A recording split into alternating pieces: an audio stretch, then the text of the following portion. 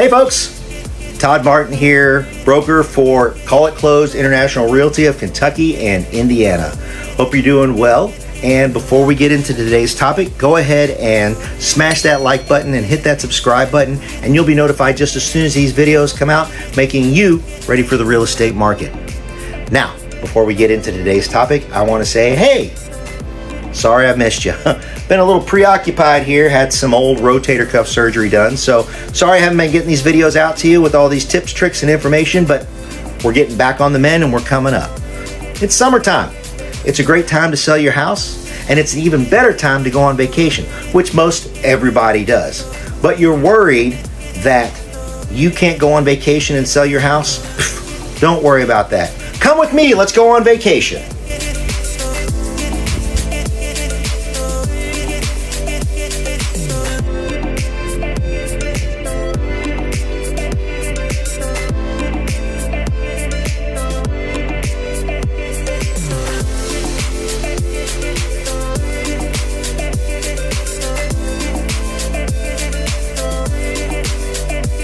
Oh, hey, there you are.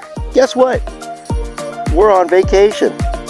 And you know the best part about this is, is that we've got a house listed on the market, we've got a competent agent, and we spoke about the plan prior to coming on vacation. Did you know that you can sell your house while you're on vacation and you don't have to be there?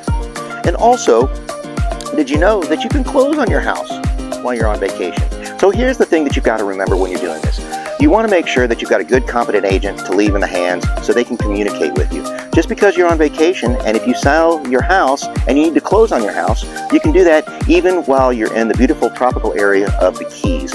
Now, coming down to make a point here, the first thing that you have to remember is that you don't have to be there to sign the contract physically.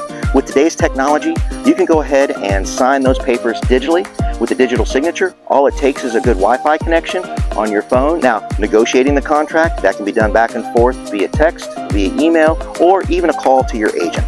But remember, the whole thing about it is you want to be able to enjoy yourself on vacation, and that's why you have an agent representing you. So, in conclusion, don't be afraid to go on vacation. You can get everything done that you need with today's technology, a competent agent, and a good plan in place when you speak to that agent.